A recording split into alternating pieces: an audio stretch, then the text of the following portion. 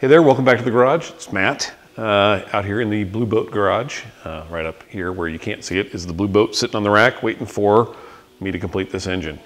Um, I mentioned several times in previous uh, stuff on Facebook and potentially in videos, I think it was in videos, that the heads that I'm putting on this engine um, are Edelbrock uh, Performer RPM heads.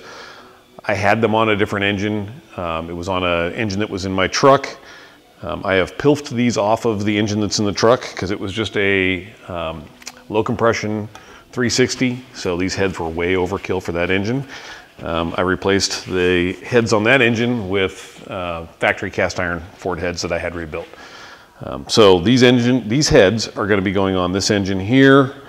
Um, the problem is originally these heads, when I purchased them, they were for an engine that was running a flat tappet camshaft.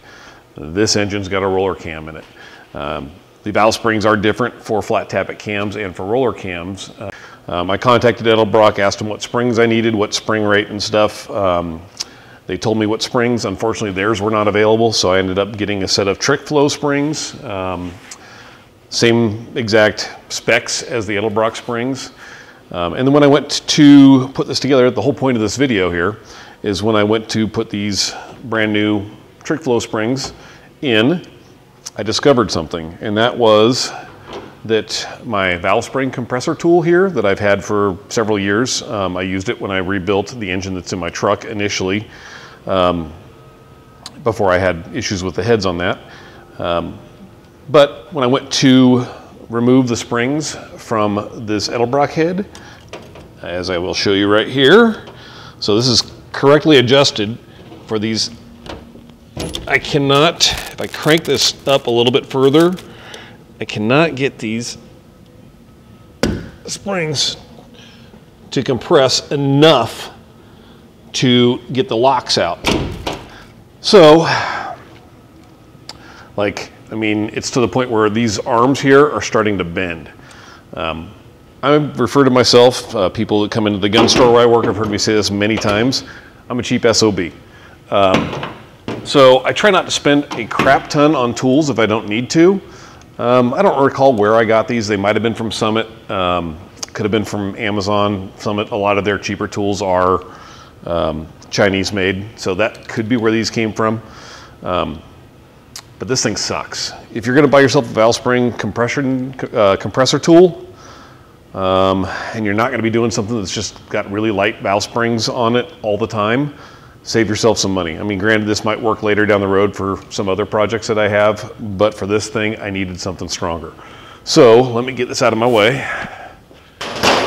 And actually, I'm gonna grab my gloves here real quick, I'm trying to stay clean.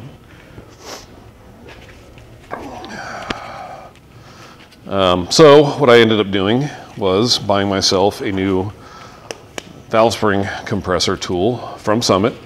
Um, this is one of their store brand tools. It's a knockoff of another tool. Um, I want to say it was about 20 or 30 bucks cheaper to buy the Summit version of it, but there it is. This thing is significantly stronger.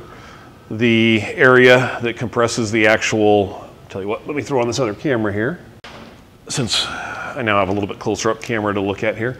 So it's not requiring on me adjusting this and having these not bend and flip off the side of the valve spring retainers.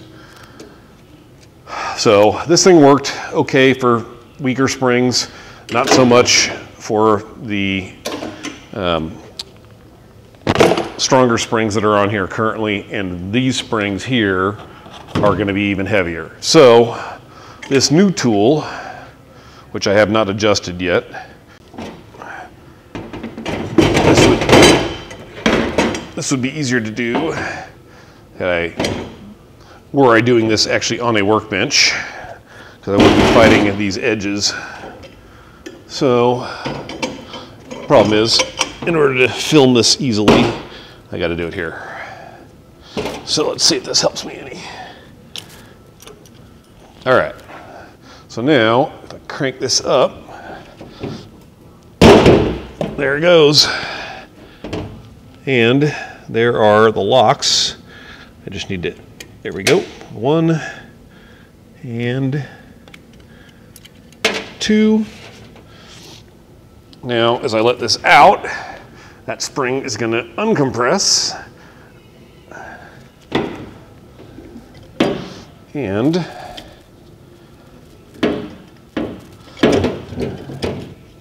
come on, get the tool out of the way.